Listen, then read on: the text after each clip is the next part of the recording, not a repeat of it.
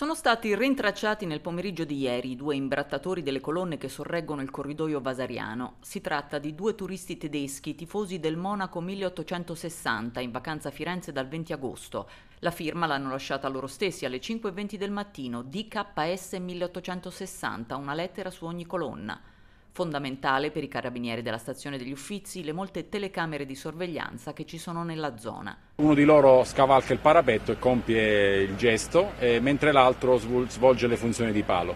Sempre l'attività di visualizzazione dei filmati di videosorveglianza eh, ha permesso di ricostruire gli spostamenti dei soggetti che sono stati notati eh, uscire da eh, una um, affittacamere di lusso in centro storico, in particolare Piazza della Signoria, è lì che appunto i carabinieri hanno fatto accesso eh, rinvenendo all'interno dell'abitazione ben 11 giovani di nazionalità tedesca, tutti sui 20 anni e tutti nati o residenti per la gran parte eh, nella città di Monaco di Baviera, e tra questi soggetti appunto i due soggetti eh, ritenuti autori dell'imbrattamento. L'appartamento è stato perquisito e i carabinieri hanno trovato le bombolette di vernice spray nera usata per il gesto vandalico. La firma Ultras è anche stata provata dalle foto rinvenute sui telefonini dei giovani che sono stati sequestrati. In particolare sono state rinvenute immagini di 30 giovani con il logo, con abbigliamento riportanti il logo della squadra, ma in particolare è stata anche rinvenuta la foto dell'opera compiuta su Firenze, cioè loro hanno immortalato la loro, eh, la loro, il loro imbrattamento per, eh, presumiamo, anche postarlo su qualche sito online. I due giovani sono stati deferiti in stato di libertà, eh, il reato contestato è danneggiamento aggravato,